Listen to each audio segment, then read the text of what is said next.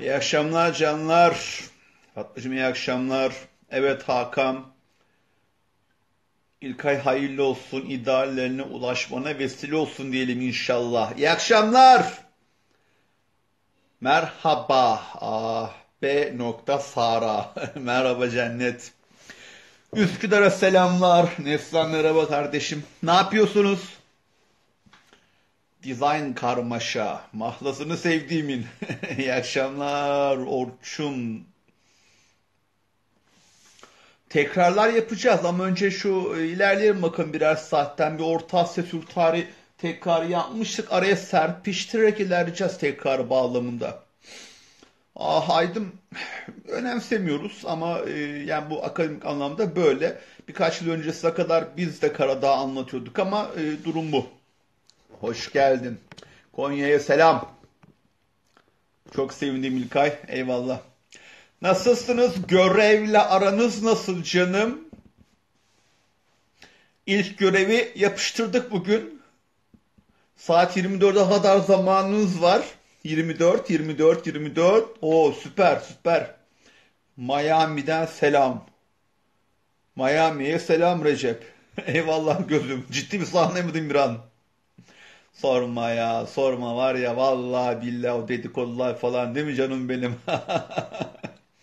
kardeş, kardeş, valla onu bunu bilmem. Dün gece ben sordum sizlere, çoğunuz evet yapalım edelim mevzu dediniz arkadaşlarım, tamam mı? Bu kapsamda ben de süreci başlattım. Dershaneden kardeşlerim var, bilirler, ederler. Bir şey istiyorsak ve gereğini yapmıyorsanız ne yapmıyoruz biz sizlere? Hakkımızı helal etmiyoruz ona göre. Öbür tarafta Sırat Köprüsü'nün başında beni bekletmeyin. Senin sonuna da hocam hadi hakkınızı helal edin demeyin. Toptan helallik menallik yok kardeşim tamam mı? Ona göre ona göre bunu yapacağız inşallah. Bir hafta kasacağız tarihim. Bir şekilde üzerinden geçeceğiz. Hakkari'ye selamlar, Kapadokya'ya selamlar. Etmem Sebo kardeşim, etmem, etmem canım benim. Çok güzel Yasin. Çok sevindim. Elif hoş geldin. Eskişehir'e selam. Türkiye'nin 81 vilayetine selam. Siz değerli yoldaşlarıma selamlar, sevgiler, saygılar, hürmetler diyorum. Vallahi Eda'cığım bilemiyorum bu iş böyle. Bu iş böyle tamam mı? Bu işin gereğini yapacağız ve inşallah o iradeli duruşumuzla birlikte o kadroya ulaşacağız kardeşim. Dönüp baktığımız zaman ya bir korona belası vardı bilmem ne vardı. Instagram'da dershanede bağıran çağıran bir hoca vardı. Bir ol mu Erol mu Şenol mu diyeceksiniz ama inşallah güzelliğe ışığa aydınlığa el uzatacağız. O kadroya ulaşacağız kardeşim. 657'ye tabi olacağız. Geri dönüp baktığımızda bir hatıra bağlamına bugünleri anacağız kardeşim. O yüzden de evet mücadele Mücadele. Bilemiyorum artık şakasının makasını. Allah Allah. Hadi bakalım. Eyvallah. Haydi. Haydi. Ah kardeş buyurun bakalım. Başlıyorum. Birin Dünya Savaşı diyoruz bugün. Melikeciğim hoş geldin. Benim Dünya Savaşı diyorum amma muhabbet ettiniz yahu. Evde konuşacak adam bulamıyorsunuz. Canınız sıkılıyor değil mi? Burada yakaldınız hocayı herkes yazıyor oradan bir şeyler. Herkes yazıyor bir şeyler oradan. Hadi hadi hadi derse derse. Hakkari sizi bekliyor inşallah. Hadi bakayım. Kapattım yorumu. Başladım bile. Evet değerli arkadaşlarım 20. yüzyılda Osmanlı Devleti ile yol alıyorduk. Trablusgarp ve Balkan'ı dün konuştuk. Nasipse hemen akşam bir terslik olmazsa bu şekilde 809 bandını bana yazınız arkadaşlar. Devam edeceğiz bu şekilde bakalım. Hemen her akşam ders yapmaya çalışacağım sizlerle. Ekstra bir durum olmadı müddetçe. Buyurun. Birinci Dünya Savaşı çok çok değerli, çok çok önemli biliyorsunuz. Bir dünya sorumuz var. Burada öncelikle şu savaşın nedenleriyle yol alın ki bakın savaşın temel nedeni sağ köşede görüyorsunuz zaten. Bir dünya savaşın özü dünyanın yeniden paylaşım kavgasıdır kardeş. Dünyanın yeniden paylaşım kavgasıdır tabiri caizse. Bu kapsamda malum haliniz iki blok var. İtilaf blokları bloğu ve ittifak bloğu. Şimdi bu blokların oluşumunu konuşurken aynı zamanda savaşın nedenlerini de aradan çıkarmış olacağız. Sakın bakın ben tarih yazmadım buraya. İttifak bloğunun oluşumu ta 1882'ye dayanmakta. 1882'ye giden bir süreç, İtilaf bloğu ise 1908 Reval görüşmeleriyle ortaya çıkan bir süreçtir. 1880'ler, 1908'ler, savaş 1914. Yani savaşın başlamasından bir 30-40 yıl öncesinden beri bir gerginlik var. Bir problem var ki devletler bloklaşmış, farklı saflarda yer almışlar. O zaman bunun temel nedeni ne? Tabii ki ve tabii ki sömürgecilik. Bakın çok iyi bak şu an ekrana. Çok iyi bak ekrana. Soldaki itilaf devletleri tabiri caiz ise eski sömürgeciler. Karşı taraf ise kaba taslak yeni sömürgeciler. Buradan kastımız ise Almanya ve İtalya 1870'lerin başında kurulan iki yeni devlet. Siyasal birliğin geç tamamlayan iki yeni devlet. Bu bağlamda sömürge yarışının dışında kalmışlar. Çünkü karşı taraf İsrah bloğu 1800'lerden beri bir şekilde dünyayı sömür sömür sömürmekte. Hele İngiltere, Fransa, Rusya, Orta Asya'da mesela. İşte bu ortamda Almanya ve İtalya kafalarını kaldırıp şöyle bir bakıyorlar dünyaya. Sömürge ihtiyaçları söz konusu. Sömürge ihtiyaçları söz konusu. O yüzden basıyorlar yaygarayı.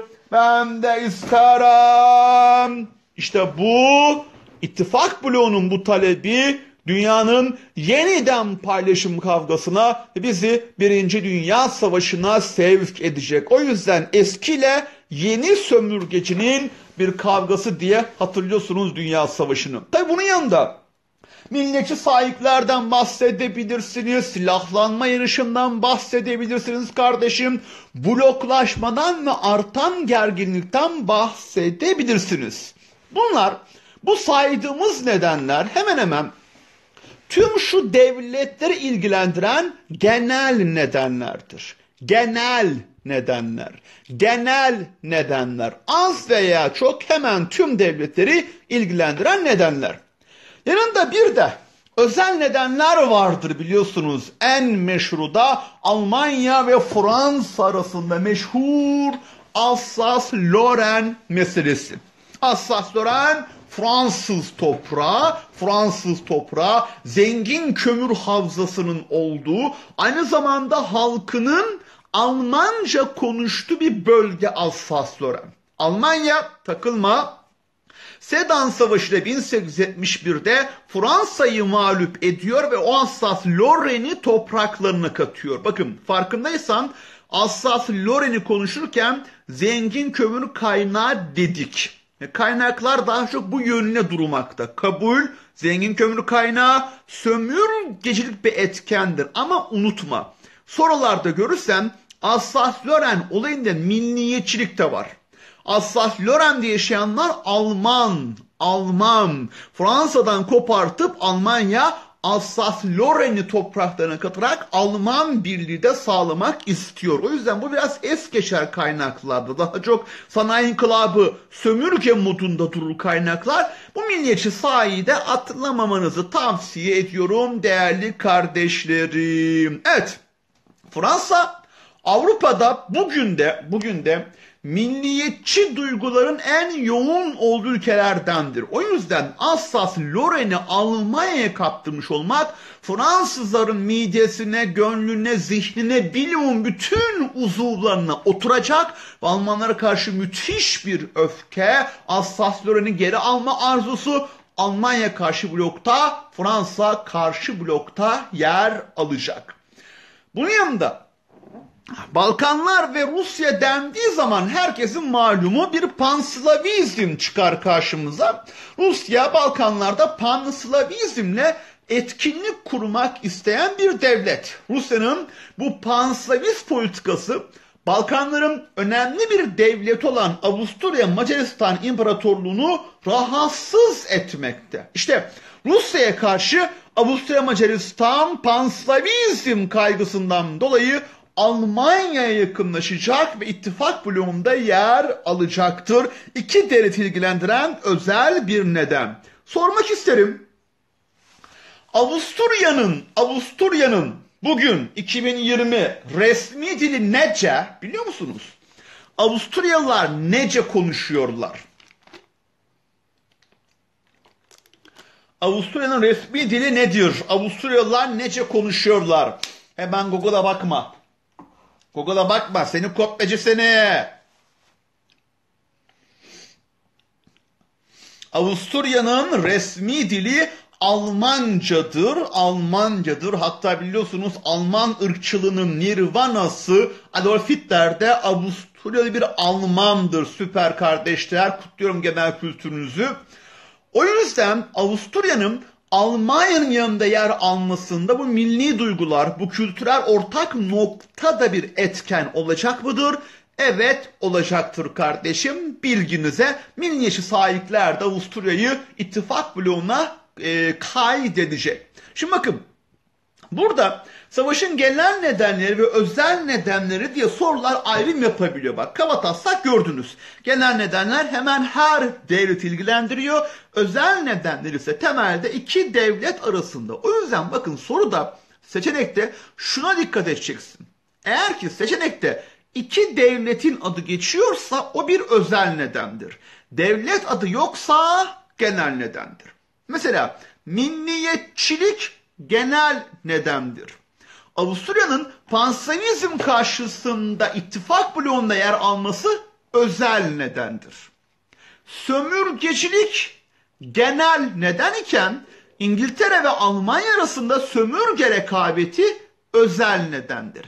Mantığı anlatabiliyor muyum? Seçenekte cümlede devlet adı geçiyorsa orada özel neden aklına gelecek. Devlet adı yok ise genel neden deyip yolunuza devam edeceksiniz değerli kardeşler. Evet bakın bu ortamda bloklar oluşmuş. Devletler birbirine dalmak için fırsat kolluyorlar tabiri caizse. İşte o günlerde Haziran 1914'te biliyorsunuz Avusturya Macaristan Veliahtı Ferdinand bir Sırp milliyetçisi tarafından suikastle öldürülüyor. Ve Temmuz 14'te de kıyamet kopuyor. Avusturya Macaristan bu suikastten Sırbistan'ı sorumlu tutacak ve Allah ne verdiyse Sırplara dalacak. Rusya Sırpların yanında yer alacak, Avusturya dalacak. Avusturya'nın yanında kankası Almanya Rusya'ya dalacak. İngiltere Fransa dahil olacak bir anda 1914 yazı çok ısınıyor kardeşim. Kıyamet kopuyor. Kıyamet kopuyor. Devletler birbirine dalıyor bakın. Bir kıvılcım, bir suikast dünyayı yangına sürükleyecek değerli kardeşler. Farkındaysan burada devletleri anarken İtalya'nın adı geçmedi. İtalya, İtalya savaş başlayınca ben tarafsızım birader diyor. Ben tarafsızım diyor. Hemen arkasından da İngiltere Fransa ile yaptığı gizli bir Londra anlaşmasıyla biliyorsunuz İtalya saf değiştirecek ve ittifak bloğundan itilaf bloğuna geçecek değerli kardeşler. Canlar, canlar, hanım arkadaşlar. Öyle bir söylence var piyasada işte İtalyan erkekler yakışıklı romantizm falan filan bilemiyorum aman aman biraz dikkatli olun bakın. İtalyan bir sevgili edinirseniz aman dikkat hatunlar çok fena boynunuzu takarlar. Çok fena boynunuzu takarlar bilginize iki defa ya Allah belanı verme iki defa İtalya Almanlara takacak boynuzu. Birinci Dünya Savaşı'nda da, İkinci Dünya Savaşı'nda da İtalya saf değiştirecek ve Almanları boynuzlayacak tabiri caizdir. O yüzden İtalyanlara karşı biraz ve tedbirli olmanızı ben tavsiye ederim. Çok fena adam satıyorlar şekil A'da gördüğünüz gibi. İtalya saf değiştirdi. Onun dışında anam babam Ezberlemeye kalkmayın. Çin'i, Romanya'sı, Portekiz'i, Sırbistan'ı, Belçika'sı, Yunanistan'ı, Amerika'sı. Kambersiz düğün olur mu? alemin bir numaralı şerefsizi Amerika Birleşik Devletleri de bu savaşa dahil olacak değerli kardeşler. Takılma 17'ye kadar çıkan bir devlet silsilesi var burada. Karşı tarafta ise ittifak bloğunda ise İtalya'nın boşalttığı sahayı biz dolduracağız. Onur duyun, gurur duyun. Osmanlı bu boşluğu dolduracak. Yanımızda bir de Bulgaristan. Hepsi bu. 17-18 devlete karşı 4 devlet Osmanlılar gibi savaşacak ve mağlup olacak. İttifak bloğu malumu aliniz değerli kardeşler. Şimdi canlar Burada savaşın nedenleri ve devletleri anmaya çalıştım. Bir farklı formatta sorgulamak isterim. Hatta size sormuş olalım. Açtım yorumları. Evet. Birinci Dünya Savaşı'ndan ilk çekilen devlet hangisi hatırlıyor musunuz? Kalp atan eline parmağına kurban olan ben senin canım benim. Savaştan ilk çekilen devlet, Birinci Dünya Savaşı'ndan ilk çekilen devlet hangi? Merhaba hale. Birinci Dünya Savaşı'ndan ilk çekilen devlet Japonya harikasınız. Peki bizim safımızda, bizim bloğumuzda, bizim bloğumuzda ittifak bloğundan ilk çekilen devlet hangisi? İttifak bloğundan. Bizim bloktan, bizim bloktan çekilen ilk devlet hangisi? İttifak bloğundan aha da bastım Bulgaristan. Şeye manca ben bastım. İttifak bloğundan ilk çekilen Bulgaristan. Peki bizim blokta, bizim blokta, ittifak bloğunda savaşa en son katılan devlet kimdi? O da Bulgaristan'dı. Bizim blokta savaşa en son katılan ve savaştan ilk çekilen Bulgaristan. Peki Birinci Dünya Savaşı'na en son katılan devlet hangisi biliyor musunuz? Birinci Dünya Savaşı'na en son katılan devlet. Birinci Dünya Savaşı'na en son katılan devlet, Birinci Dünya Savaşı'na en son katılan devlet Yunanistan güzel. Savaş esnasında saf değiştiren Amerika değil, Yunanistan'dır. Savaş esnasında saf değiştiren az önceki İtalya malumu haliniz ve savaşın kaderini değiştiren devlet ise evet alemin bir numaralı şerefsizi Amerika Birleşik Devletleri değerli kardeşler. Canlar bu devletlerden savaşın kaderini değiştiren aa, bu bağlamda savaştan ilk çekilen ve bizim blokta savaştan ilk çekilen bu sıfatları şu üç devlete biraz daha dikkat etmenizi önerebilirim değerli kardeşlerim. Amerika Birleşik Devletleri'ne derinden saygılarımı, sevgilerimi sunar iken umarım rahatsız olan yoktur. İçinizde Amerikalı var mıydı? Bilemedim ama bilemedim ama içinizde Amerikalı var mıydı? Biraz böyle sayırdım ama e, ihtilal nedeniyle çekilecek de ilk son tarzı bir sıfatı yok Rusya'nın. Durdunaz, aydın. Rahatsız olan yok değil mi Amerika'ya saygılarımı, sevgimi sunmuş olmamdan dolayı? Tamam, tamam, tamam. Seviyoruz Amerika'yı. Ne diyeyim Allah'ım ya Rabbim.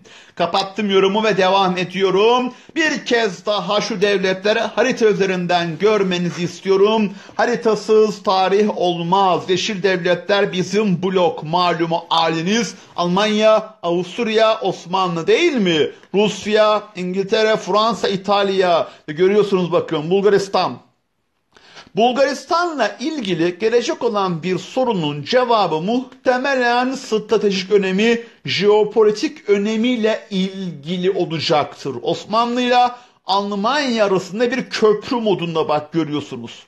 Bulgaristan'ın bizim yanımızda savaşa katılmış olması Çanakkale Savaşı'nın son demlerinde 1915'in sonlarında bizim yanımızda savaşa katılması Almanya'dan gelen yardımın daha rahat gelmesi demektir.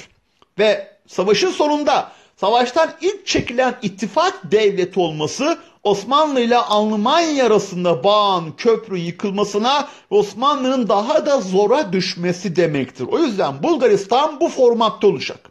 Bulgaristan'la ilgili bir sorunun cevabı stratejik önemiyle ilgili olacaktır. Peşinen söylüyorum haritada gözüne gözüne girsin sevgili kardeşim. Evet canlar. Şimdi buradan. Buradan evet. Az önce andığımız bak bak tipe bak tipi tipe bak tipini sevdiğimin tam bir at hırsızı gördüğünüz zaman yakından göstereyim istersem.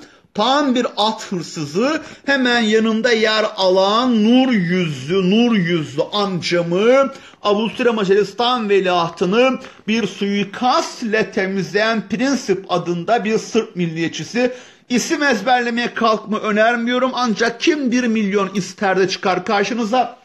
Ha biliyorsan 1 milyonu götürürsün. Eğer bilemezsen yarışmada telefonla joker hakkını kullanır beni ararsın ama bir şartla 50-50.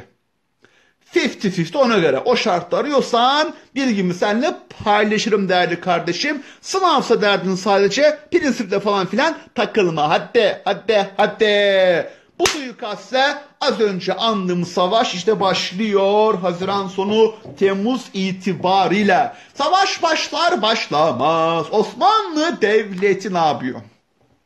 Osmanlı Devleti ne yapıyor? Osmanlı ben tarafsızım diyor.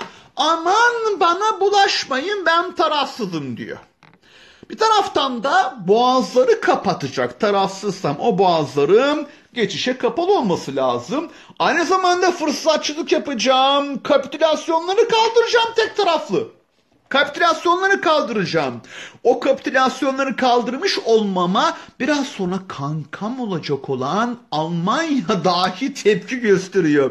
Almanya dahi kankam Almanya dahi tepki gösteriyor. Demek ki neymiş? Tamamen duygusal, tamamen çıkar, çıkar devletler arası ilişkilerde kardeşim kapitülasyonları Osmanlı'nın kaldırdığı, en azından kaldırma teşebbüsünde bulunduğu kulak dolgunluğu olsun. Ben savaşı kaybedince 1918'de kapitülasyonlar kaldığı yerden uygulanmaya devam edecek. Ne zamana kadar? Lozan'a kadar. Lozan'la beraber bu beladan tamamen kurtulacağız. Tamam mı canlar? Biz kapitülasyonları hep Lozan'a yazarız ya savaş dönemiyle ilgili bir seçenekte bu cümleyi gördüğünüzde ya olur mu ya bu Lozan'daydı diye hata yapmanızdan korkuyorum. Tamam mı kardeşim? Böyle teşebbüs var. Savaş dönemince kapitülasyonlar uygulanmayacak ama Osmanlı savaşı kaybedince 18'de beraber kapitülasyonlar kaldığı yerden uygulanmaya devam edecek. Yine genel seferberlik ilan eder Osmanlı. Ne olur ne olmaz bu savaş bana bulaşabilir diye bir taraftan da savaşa hazırlanmaya devam edecek Osmanlı Devleti. Canlar tarafsızlık dediğimiz zaman burada bir kazık var onu da paylaşmadan geçemeyeceğim. Şöyle ki Sultan Osman ve Reşadiye gemileri. Bu iki gemi Osmanlı Devleti'nin halktan topladığı Donanma Cemiyeti'nin Mehmet Reşat zamanında halktan topladığı yardımlarla, bağışlarla satın alınan iki tane gemi. Hatta parasını nasıl bir aklı evvellikse bilemiyorum peşin bir şekilde verdik İngiltere'ye.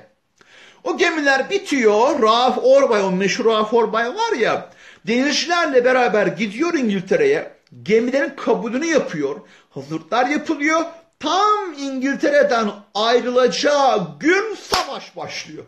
Savaş başlayınca da İngiltere ne olur ne olmaz diye o gemileri bize teslim etmeyecek ve bir bardak soğuk su içmek zorunda kalacağım Sultan Osman ve Reşadiye kazı ilginç olabilir kulak dolgunluğu olsun diyeceğim değerli kardeşler. Canlar, canlar ya burada bakın şu benim hoşuma gidiyor bak. Gözünü seveyim. Böyle dört bilginin, dört verinin olduğu noktalar ÖSYM için çok hazır bir sorudur.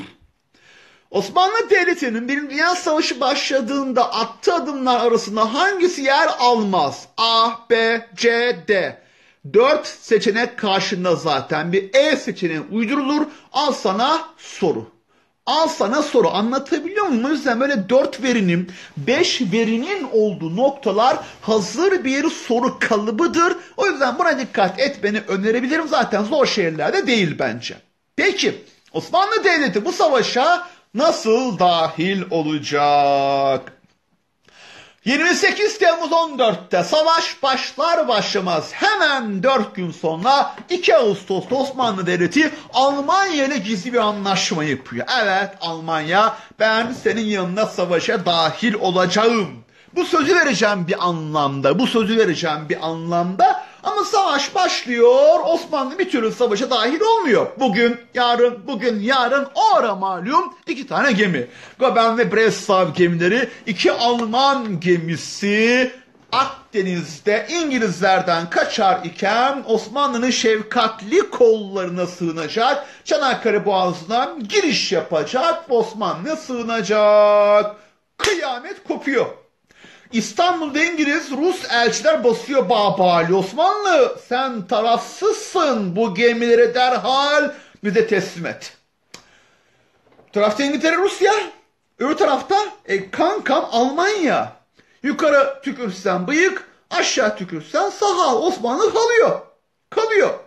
Bu baskı karşısında dahihane bir çözüm akla geliyor. Ya diyor bizimkiler o gemiler ama Alman gemisi değil ki. Ne Göpeni ne Bressav'ı. Onlar Yavuz ve. Almanya'dan satın aldım gemiler benim. Ey İngiltere, ey Rusya saçmalamayın lan. Ya bir git diyor inanmıyor elçiler alıyorum elçileri indiriyorum limana rıhtıma orada gemiler boyanmış Türk bayrağı çekilmiş göndere, Alman personel Osmanlı üniforması giydirilmiş. Aha da bak görüyorsun. Bunlar artık Türk gemileri. Alman değil, Alman değil diye dahihane bir tiyatro oynar bizimkiler. İngilizler, Ruslar inanır mı?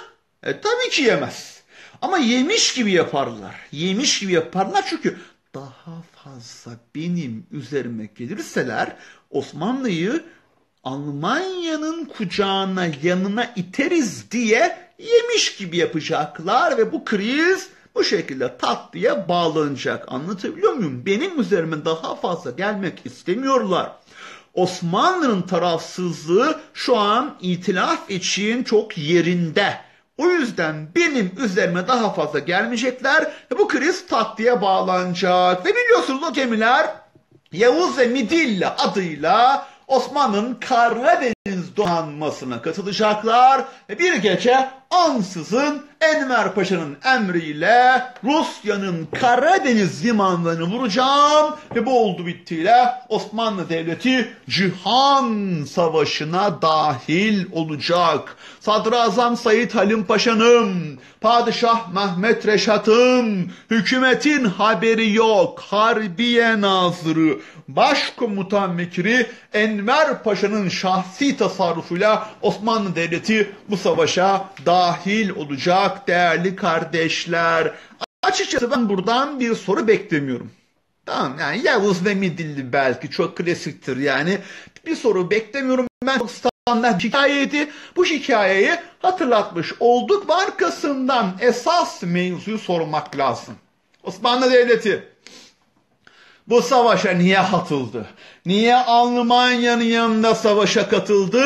Çünkü Osmanlı Devleti siyasi yalnızlıktan kurtulmak istiyor. Hani derler de böyle işte Osmanlı Almanya hayranı, ittihatçılar, Enver Paşa, Almanya yalnız o yüzden savaşı... Hayır.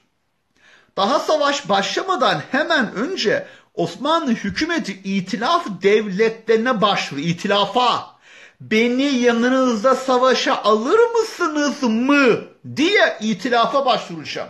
İngiltere Boğazlar, Musul, Kel hay hay diyor Osmanlı olabilir diyor. Rusya olmaz, olmaz. Niye? Almanya'yı öpelim ondan sonra Boğazlar, Anadolu ben Osmanlı'yı öpeceğim olmaz. İngiltere kalıyor. Rusya mı Osmanlı mı? Rusya mı Osmanlı mı? E, tabii ki asker anlamda daha güçlü, ekonomik anlamda daha güçlü Rusya'yı tercih ederler ve Osmanlı'ya kusura bakma birader derler. Buyur Ne yapacaksın sen burada şimdi?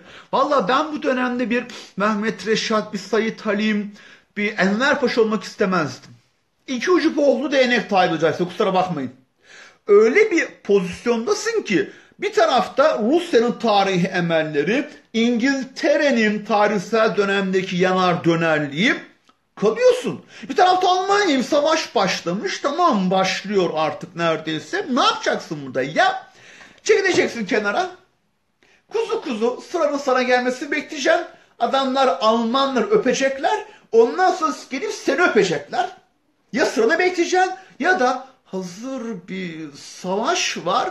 E, burada Almanya gibi önemli bir güçle beraber şansın deneyeceksin. Çok garip bir durum. Yani gerçekten çok zor bir durumdur.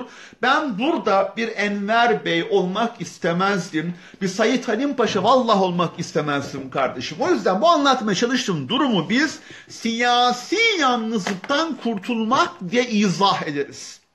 Osmanlı Devleti bu savaşa yalnızlıktan kurtulmak arzusuyla dahil olacak. Yanında tabii ki disipliniyle, mühendislik birikimiyle Almanya bu savaşı kazanabilir. O zaman kazanan tarafta yer alayım, kaybettiğim toprakları geri alabilirim. O zaman kazanan tarafta yer alayım, kapitülasyon belasından, borçlar belasından tamamen kurtulabilirim. Kazanan tarafta yer alayım ki Turan, Türk birliğini sağlayayım, Rusya işgalindeki Orta Asya'yı Ruslardan kurtarayım. Kazanan tarafta yer alayım ki işgal altında bulunan Müslümanları zulümden kurtarayım. Hayaller bu yönde ama malum haliniz gerçekler bambaşka olacak değerli kardeşler. Evet ben bu nedenlerle Almanya'nın yanında savaşa katılıyorum. Almanya'da beni kendi yanında savaşa sokabilmek için amuda kalkıyor, parende atıyor, rüşvet dağıtıyor, siyasal baskı yapıyor, yapıyor da yapıyor. Çünkü çünkü var ya Almanya bana mecbur. Osmanlı Almanya değer katar iyi olur demiyorum. Almanya Osmanlı'ya mecbur. Neden diyorsan hemen aç haritayı. Allah aşkına. Haritaya bak. Haritaya bak. Savaş başlamış. Almanya Rus'la beraber savaşıyor. Doğuda Rusya, Batı İngiltere, Fransa, İtalya ne yapacağı belli değil. Neredeyse bu adamlar çembere alında alınacak. İşte burada Almanya savaşı geniş alanlara yayarak nefes almak istiyor. Yeni cepheler açılsın diye Osmanlı'ya yalvar yakar. Ben savaşa dahil olursam Kafkasya'ya saldırırım. Rusya bölgeye asker kaydırır. Kıta Avrupa'sında Almanya nefes alır. Ben kanala, Süveyş kanalına dalarım. İngiltere bölgeye asker kaydırır. Kıta Avrupa'sında Almanya nefes alır. Kardeşim o yüzden Almanya bana mecbur. Bana mecbur ve beni kendi yanımda savaşa sokmak istiyor. Temel mantığı bu. Bunun yanında tabii ki Osmanlı jeopolitik önemi, Boğazlar kanalmış, Musul Kerkük petrolüymüş, İngiltere'nin sömürge yolu canlar Süveyş kanalı, İngiltere'nin, İngiltere'nin, İngiltere'nin o sömürge yolu, o şah damarını kopartıp atmak istiyor Almanya benimle birlikte Süveyş'i ele geçirmek yoluyla kardeşim. Hakeza İngiltere beni yanında görmek istiyor. Niye? Almanya beni yanında görmek istiyor. Niye? Osmanlı'nın halifeli gücünden yararlanmak için. Sormak isterim bakalım. Genel kültürünü sevdiklerimin söyler misin bana? Söyler misin bana bu dönemde 1914'lerde en çok Müslümanın yaşadığı ülke hangisi? En çok Müslümanın yaşadığı ülke hangisi? diye sordum. En çok Müslümanın yaşadığı ülke hangisi? Teşekkür ettim. Güzel bir cevaptı. Bir sessizlik kaplı. Hindistan bir devlet yok. Afganistan bir devlet yok. Osmanlı değil. Hindistan yok Gültekin ne yaptın abi? Hindistan'da 47-48'de 47'de kurulacak. Hindistan diyorlar ya. Hayır Nesan. Aa, en, yok Endonezya değil. Osmanlı değil.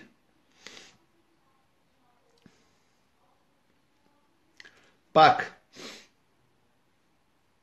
Mısır bu dönemde bir devlet yok.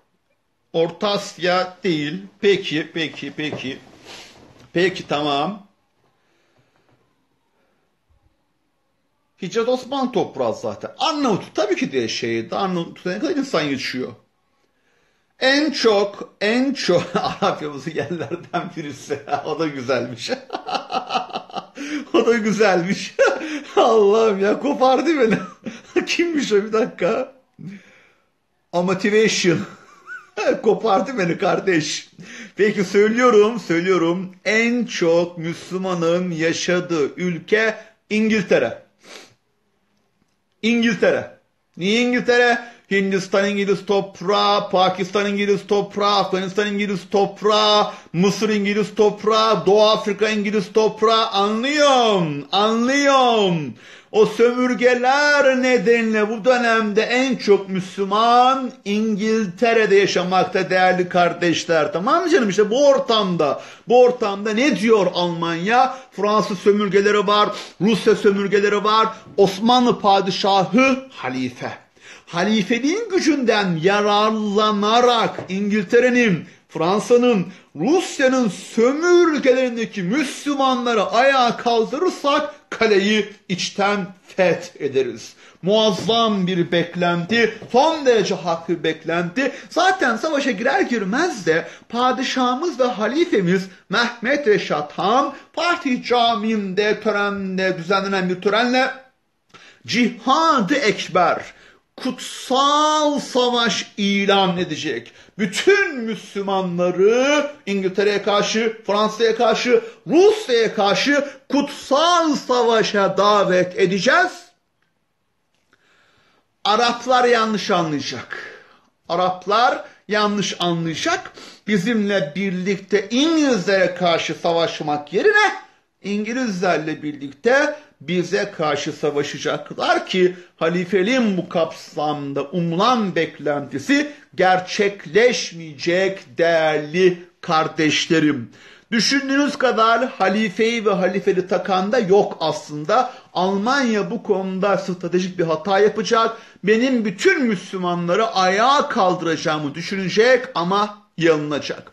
Bunun yanında Almanya ne istiyor? Almanya Osmanlı Devleti'nin yorum açıyorum. Almanya Osmanlı Devleti'nin bilimsel teknolojik gücünden yararlanmak istiyor. Almanya Osmanlı Devleti'nin bilimsel teknolojik gücünden yararlanmak istiyor. Almanya niye istiyor Osmanlı'yı? Osmanlı Devleti'nin bilimsel teknolojik gücünden yararlanmak istiyor. Almanya niye istiyor Osmanlı'yı? Bilimsel teknolojik gücünden yararlan... Ne, ne, ne kızıyorsunuz be? Ne bilimi, ne teknolojisi? Bakın askeri güç dahi doğru bir cümle değil. Farkında mısın bilmiyorum. Askeri güç askeri gücün içerisinde silah teknolojisi, ekonomik, lojistik imkanlar ve insan gücü aklı gelir. O yüzden bazen sorular hatalı bir şekilde askeri güç diyebiliyor. En doğrusu insan gücüdür. Ben de ölmesini bilen Mehmetçik çok. Eline veririm silahı İngiltere'ye karşı kullanırım kardeş. O yüzden soruya iyi bakın. Almanya niye Osmanlı istiyor? A. Askeri gücünden yararlanmak istiyor. E. E'de insan gücü diyorsa bu çok daha doğrudur. Anlatabiliyor muyum? Bu çok daha doğru bir cümledir. Bazen sorular askeri güç eşittir insan gücü minvalinde kullanılabiliyor yaprak testlerde. Ben ÖSYM'nin bunu kullanacağını sanmıyorum çünkü askeri güç kompleks anlatabildim mi? İnsan gücü o askeri gücün sadece bir unsurudur. Ben de insan gücü çok fazla. O yüzden beni yanında görmek istiyor Almanya devleti. Canlar ÖSYM çok sever bunları. Osmanlı niye Almanya'nın yanında savaşa girdi? Almanya niye bizi yanında savaşa soktu? Lütfen bu başlıklara iyi bakın, dikkat edin diyorum. Buraya kadar ya hocam ya diyen var mı? Ses, görüntü, bu bağlamda problem var mı? Sorun gelmedi galiba ama nasıl gidiyor? Var mı problem?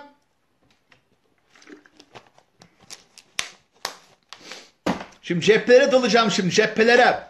Action zamanı. Peki. Peki. Hadi o zaman. Evet insan gücü demokratik, demografik güç aynı şey değil mi? Demokratik diyecektim ya. İnsan gücü aynı şey tamam. Peki. Kapattım o zaman. Haydi devam ediyorum kardeşim. Evet. Osmanlı Devleti'nin savaştığı cepheler karşımızda. Şu şablon her yerde göreceğiniz çok temel bir şablon. Malumu aliniz. Ama şu şablon dahi yeri gelmiştir bize soru yaptırmıştır. Osmanlı Devleti malum kendi topraklarında savaştı cepheler ve müttefiklere kankalara yardım için asker gönderdi cepheler. İki temel ayrım var değil mi? Müttefiklere yardım için asker gönderen cepheler Galicia, Makedonya ve Romanya malumu aliniz. Harita üzerinden bunları göstereceğim sizlere. Galicia'yı bilmiyorsunuz coğrafya fakirleri olarak maalesef. Harita açacağım şimdi. Kendi topraklarında savaştığı cepheler ise taarruz yani benim açtığım cepheler. Ben taarruz etmişim Kafkasya ve Kanal. Bir de savunma yani bana saldırmışlar ben kendimi korumuşum. Çanakkale, Irak, Hicaz Yemen ve Suriye, Filistin. Şimdi malum ben Kafkasya cephesine kime daldım? Ruslara daldım. Kanal cephesinde ben kime daldım? İngiltere'ye daldım. Çanakkale'de bana kim daldı? İngiltere ve Fransa liderine itilaf bloğu. Irak'ta bana kim daldı? İngiltere. Hicaz Yemen'de bana kim daldı? İngiltere. Suriye Filistin'de bana kim daldı? İngiltere ve yanlarında biraz da asi Araplar özellikle can sıkacaklar. Canlar görüyorsunuz bana daha çok saldıran İngiltere değil mi? Nereye dalmış İngiltere? Irak'a, Hicaz, Yemen'e, Suriye, Filistin'e. Bu bölgenin ehemmiyeti nedir? Orta Doğu'nun tabii ki petrol. Bugün Amerika hangi gerekçelerle Orta Doğu'daysa bundan 100 yıl önce İngiltere aynı gerekçelerle Orta Doğu'da. Ve şu şablona baktığınız zaman ben daha çok İngilizlere savaşmışım. Doğru mu arkadaşlarım? Bizim için Birinci Dünya Savaşı özelde bir sanki Osmanlı İngiliz savaşı gibi gözüküyor farkındaysan. Daha çok İngilizlerle ben savaşmışım Birinci Dünya Savaşı'na değerli kardeşler. Bu şablon çok basit bir şablon ama soru yaptıracak. Şablonda çıkan sorularım var. Hangisi savunma marşı cephelerdendir, değildir? Hangisi müttefikler yardım için asker gönderme cephelerdendir, değildir tarzı çıkmış KPSS sorularımız var. Şu dahi bize kesinlikle soru yaptırtacak. Tek tek cephelere bakacağız şimdi ama önce siz sevgili coğrafya fakiri kardeşlerimize şu cephelerin yerlerini gösterelim bakalım. Evet canlar, canlar, canlar. Galicia. Galicia bugün Güney Polonya'dır. Polonya ve Ukrayna arasında paylaşılan bir coğrafyadır Galicia. Ben ta buraya asker gönderdim. Romanya, Makedonya yardım amaçlı asker gönderdim cepheler. Yaklaşık 100 bin civarında askerin bu cephelere savaşacak kankalara yardım amacıyla. Çanakkale cephesi herkesin malumu Malum yine Kafkasya cephesi değil mi burada bak Kafkasya cephesi, Suriye cephesi, Filistin, Kanal cephesi, Hicaz, Hicaz, Yemen cephesi, Irak cephesi, Irak cephesi. Arkadaşlar, arkadaşlar harita konusunda ne kadar takık olduğumu sanırım anladınız. Instagram'dan takip eden kardeşler. Dershanede, zaten biliyor. Harita. Haritası bu iş olmaz. Bakın bir soru vardı KPSS sorusu. Hangisi Kafkasya cephesinin nedenlerinden birisi değildir? Soru buydu. Kafkasya cephesinin nedenlerinden birisi değildir. Sözel bilgi ezberlemenin yanında harita üzerinden konuya yaklaşan bir arkadaş çok rahatlıkla yaptı bu soruyu. Değildir diye sordu. Cevap İngiltere'nin sömürge yolunu kesmek. O nerede? O Kanal cephesinde. Kanal nerede? İngiltere ben nerede savaştım? Kafkasya nerede? Rusya nerede? İngiltere'nin sömürge güzergahı. Bunu harita üzerinden bilenler için o kadar kolay bir soruydu ki bu. O yüzden lütfen harita, harita, harita diyorum değerli kardeşler. Şimdicik, haydi bismillah. Taarruz cephelerine bakacağız. Kafkas cephesi ve Kanal cephesi değil mi? İki tane taarruz cephemiz var. Kafkas cephesi ve Kanal cephesi. İlk açılan cephe Kafkas cephesi. İlk açılan cephe Kafka. Bak gerilmeye başladım. Niye biliyor musun? Kasım 14'te savaşa girdim. Aralık 14'te Sarıkamış'a Kafkasya'da Ruslara daldım. Aralık 14'te. Ocak 15'te Süveyş kanalına daldım. Kanalda İngiltere'ye daldım. Bir ay arayla iki büyük düşmana iki büyük cephe açtım. Rusya'ya ve İngiltere'ye daldım. Bugün 2020'de Amerika Birleşik Devletleri dahi bunu beceremez. Bir ay arayla iki büyük cephe açamaz Amerika. Ben açtım yüzyıl önce. Ben açtım yüzyıl önce aynı anda Kafkasya'da ve Kanal'da iki büyük düşmana daldım. Netice fiyasko oldu. Netice fiyasko oldu. Bu da beklenen bir sondu. Mümkün değil ya teknik anlamda 100 bini bulan bir orduyu Kafkasya'ya bir o kadarını kanala gönderemezsin. Alel acele açılan cepheler bunlar. Sırf Almanya rahat nefes alsın diye bir anda Kafkasya'ya bir anda kanala daldım. Alman yönlendirmesiyle o yüzden bu cephelerde Kafkas cephesinde ve Kanal cephesinde Allah aşkına bunu atlamayın. Alman baskısı ve Alman isteği bu cepheler temel etken olacak. Gerekli hazırlığı yapamadan binlerce Mehmetçi Allah Ekber dağlarına Aralık ayında göndereceğiz değerli kardeşlerim. Alman baskısı burada temel bir etkendir. Evet tabii ki ben de Turan diyorum Enver Paşa hatta bizzat Erzurum'a gelecek bu cephenin komutasını üstlenecektir. Kafkasya üzerinden Orta Asya ulaşıp Rusları bölgeden def edip Turan idealini hayata geçirmek isteyeceğim. Hazır bölgeye gelmişken tabi Bakü petrollerini alırsam fena olmaz yani fena olmaz. Bunun yanında Kars, Ardahan ve Bat Elve selase. Nerede kaybetmiştim ben bu elviya selaseyi hangi savaşta hangi anlaşmada kaybettim ki şimdi geri almak istiyorum Kars, Ardahan ve Batum'u. Ben hangi savaşta hangi anlaşmada kaybetmiştim Kars, Ardahan ve Batum'u elviya selaseyi şimdi geri almak istiyorum. 1878 Berlin'de 93 Harbi'nde kaybettiğim bu şehirlerimi geri almak isteyeceğim, kutluyorum. Yanımda Kafkasya üzerinden acaba Hindistan'a inebilir miyim? İngiltere'nin en önemli sömürgesini Hindistan'ı ele geçirebilir miyim diye de bir düşünce hasıl olacakmış Osmanlı Genelkurmay'ında da çok da olacak bir şey değil. Bu cephenin nedenlerini biliyorsunuz kardeşim tartışmasız ve ben bu kapsamda Allah ne verdiyse Aralık 14'te Sarıkamış'a Sarıkamış'a taarruza geçeceğim.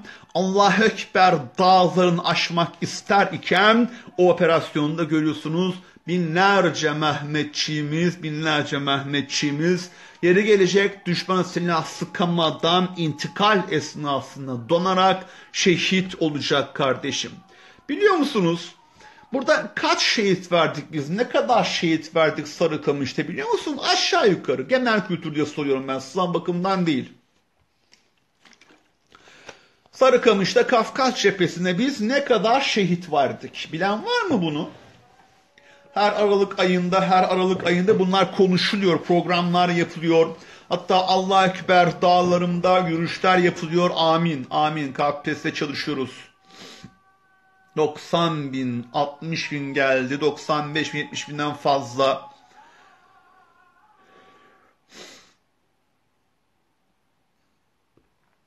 Yüz bin, doksan bin. Peki bir şey daha sormak istiyorum ben. Melike. Bir şey daha sormak istiyorum. Çanakkale Savaşı'da kaç şehidimiz vardı bizim? Çanakkale Savaşı'nda kaç şehidimiz var bizim? Bir yere bağlayacağım mevzuyu. Şu an ben genel kültüre kaydım bak söyleyeyim size. Çanakkale Savaşı'da kaç şehidimiz var? Nasıl belli değil ya? 250 bin. Eyvallah Fatma kardeşim selamlar çok sağ olasın Fatma Bağcı.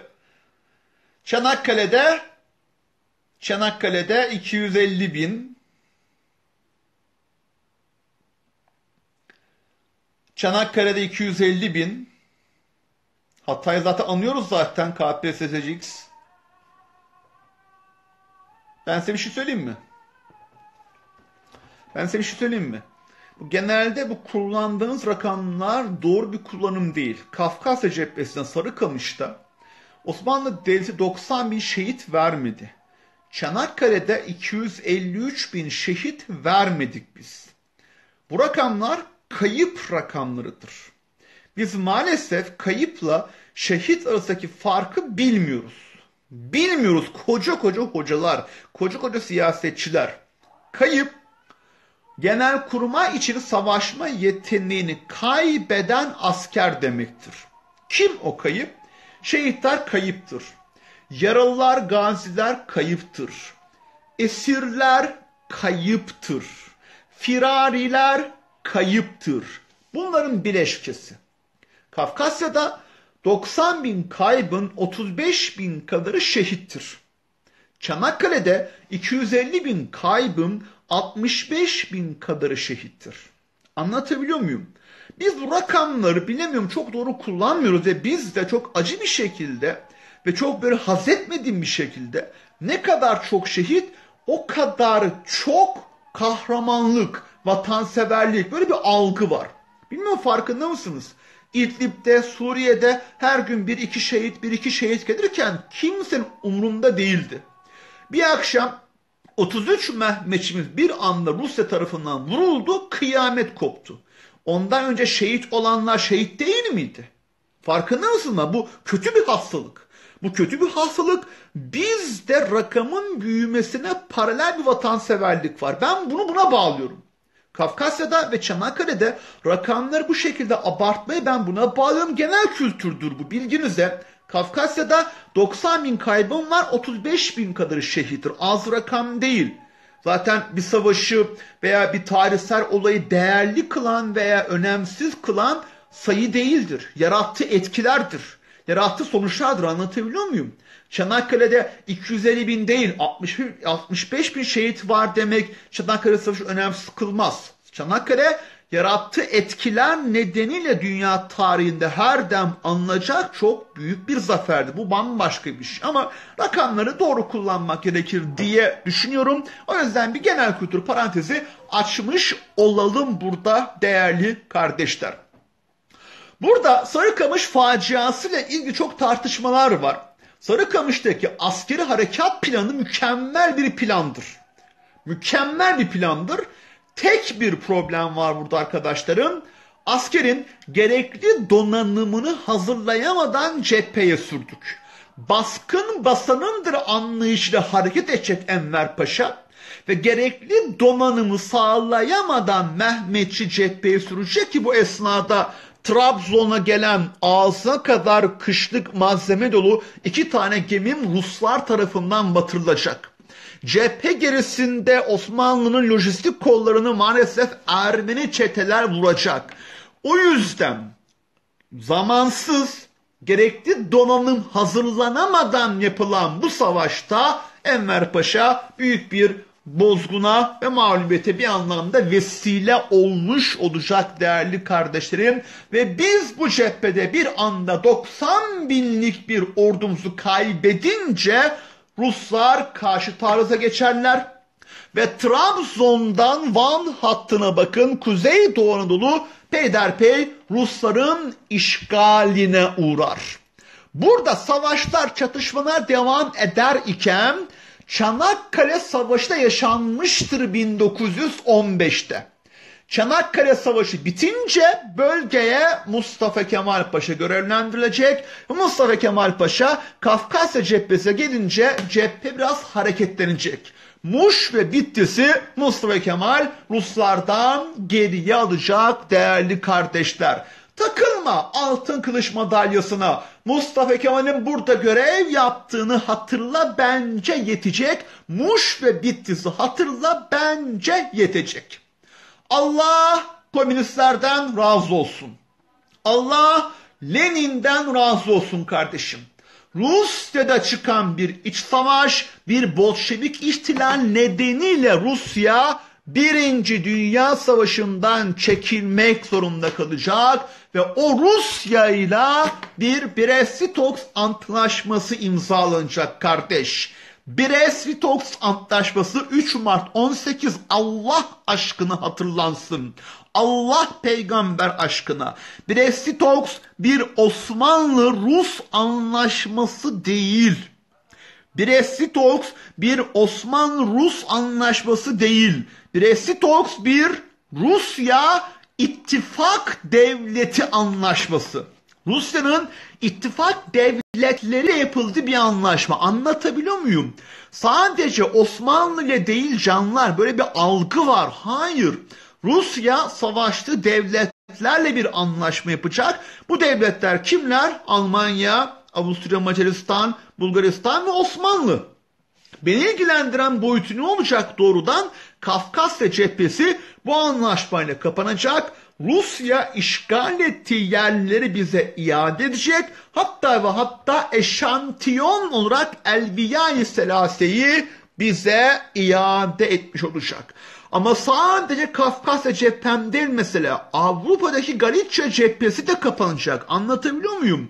Bu anlaşma bir Osmanlı-Rus anlaşmasından öte. Rus ittifak bloğu anlaşması Rusya'nın savaştığı devletlerle savaşı bitirdiği bir anlaşmadır. Bu kapsamda çağdaşta dahi karşınıza çıkabilir diyorum. Aman dikkat değerli kardeşler. Yanında bir Kafkas İslam ordusu kulak dolgunluğu olsun. Bu bir Esitoks'tan sonra kısa bir süre Kafkas İslam ordusu Kafkasya'da bir etkinin gösterecek Osmanlı adına Bakü, Azerbaycan bölgesini alacağız. Ama Mondros ateşkesiyle Dünya Savaşı'nı kaybedince bu bölgeden de çekilmek zorunda kalacağız. Çok takılma. Bir soruda görürsen Kafkas İslam ordusunu şaşırma burayla ilgili. Bu cepheyle ilgili bir Esitok sonrası kardeşim. Peki toparladığımızda bu cepheyle ilgili evet canlar Turancılık yalan oldu.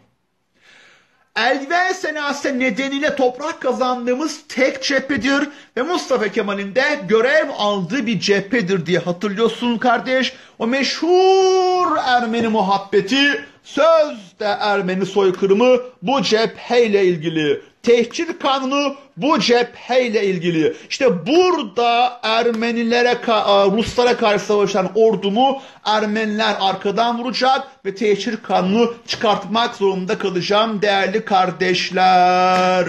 Kanal cephesi diyorum. Noktaya koyuyorum. Son 10 saniye yayını bitirdim. Geriye döndüm. Yayını bitirdim. Geriye döndüm canlar.